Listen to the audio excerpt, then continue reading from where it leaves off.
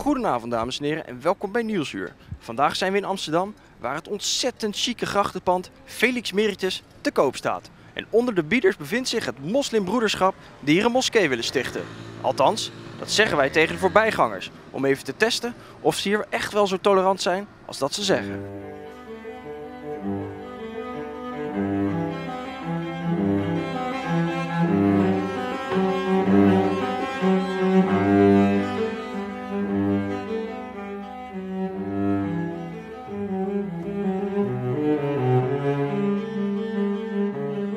Felix Meritus staat te koop.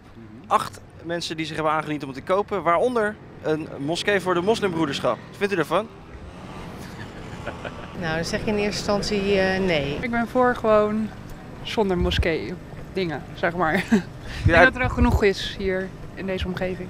Het is misschien wel een beetje buiten het eh, algehele beeld van de grachten. Dus misschien is het niet gepast. Daar moet ik even voor nadenken wat ik ervan vind.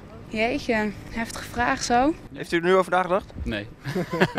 Als we elke ochtend eh, hè, gebedsgeluid gaan afspelen hier, Vijf keer per dag.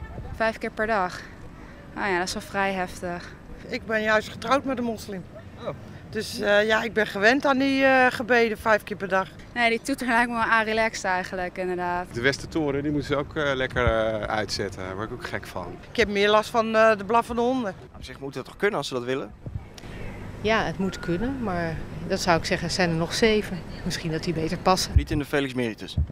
Nee, vind ik niet nodig. Toevallig gewoon ik zelf ook tegenover een moskee. En ik heb er, nou ja, ik vind het allemaal helemaal prima. Nooit last van of zo. Als ze dat gaan kopen, dan, eh, dan moeten ze een beetje in de gaten houden. Maar prima. Je wordt niet elke ochtend uit je, uit je bed gealakbard, zeg maar. Nee, echt helemaal niet. nee.